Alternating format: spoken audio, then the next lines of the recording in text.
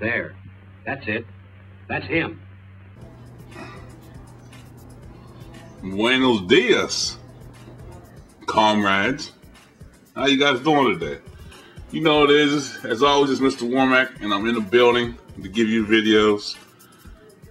I hope you're going to learn something. And if you don't, ask yourself, is it your fault or is it my fault? 95% of the time, it's your fault. Nothing's 100% in life, so let's roll in.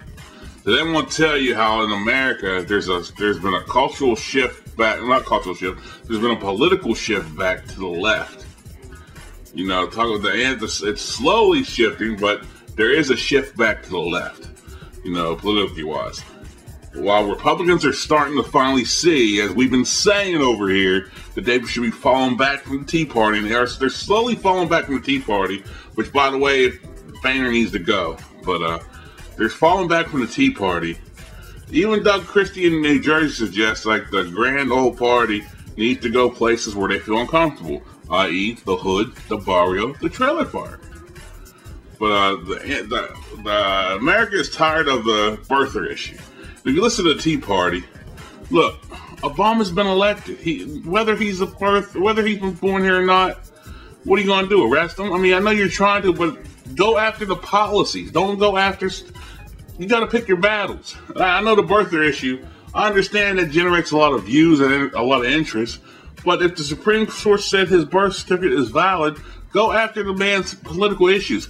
You could. There was a big thing about Obamacare that you let slide through. Now you want to talk about it. It's it's like the Republicans are like the new Democrats. And I know people hate to hear me say that, but it's the truth. The fact of the matter is, you don't want to listen to reality. You don't want to look reality in the face. The Republicans are the old Democrats because the Republicans are losing their backbone. After the Democrats are having one, this is that the Republicans are fucking up so bad that the Democrats, all they got to do if they were smart, to sit back, chill out, and let the shit roll downhill. Because, you know, it's getting to the point, you know, the, the birth issue, the six years, I mean, six years into his presidency, seriously? Six years? He got two years to go and he's done. What are you to do? And we'll get into the birther issue. Here's this deal. You don't talk about the birther issue, and you got Ted Cruz trying to run. You want him to run for president? You see how stupid you people sound? Ted Cruz was born in Canada. Now, if you thought that, where's where's the hypocrisy in that? That's why I don't fuck with the fucking Tea Party because they're fucking they're led by idiots. And then Banner had this, uh, Boehner didn't have the fucking jewels to step up and say, hey man, there's some hypocrisy here. Even in a closed door meeting, none of the top Republican brass had the balls to say something to these Tea Party wackos.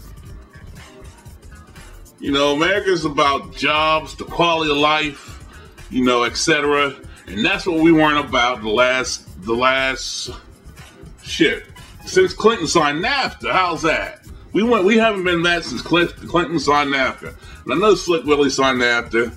Hey, that was one of the dumbest things that fucking dude ever did. He tried to be all, you know, all all friends and shit, trying to coexist on Capitol Hill. Slick Willie fucked up with NAFTA. But uh there it's it's it's really the, to the detriment of Americans all this info you guys are doing. Like you guys want like the fiscal cliff. You guys, the Republicans keep saying well, we want, we're, we're going to hold up until we get Obamacare not passed. Like, I read into that a lot. Some people can read into it, but right now you got the political advantage to where you can use that. But we got, I digress on that point. I'm not going to go. I'm not going to go in on that. You know, you know, in a lot in a lot of ways, the liberals are smart, but yet they're stupid.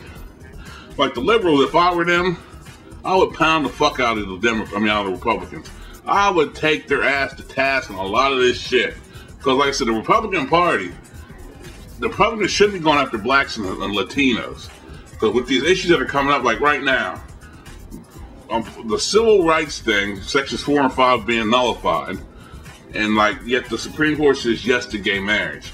Now, if the Republicans had any clues, they would go after blacks and Hispanics because you know what? Blacks and Hispanics, whether you like it or not, were more culturally conservative Fiscally, they're liberal, but they're culturally conservative. And you can play upon that. If you go to a black church, look, black churches are more stricter than white churches as far as that goes.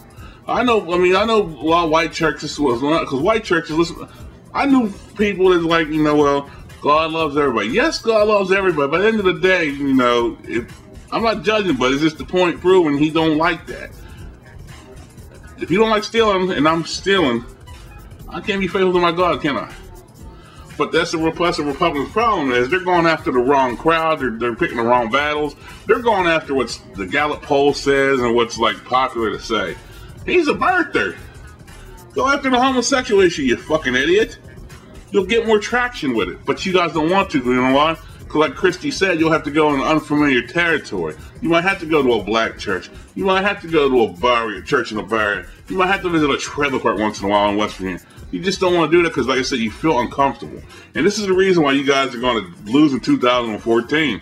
I, I keep calling it. Y'all keep losing. So until the Republicans get the set of nuts, get rid of the wackos in the Tea Party, or tell them they need to get more mainstream with them, it's going to be over. And then you're to keep this shift to the left. So I'm out of here. Oh, yeah, prove me wrong. And peace.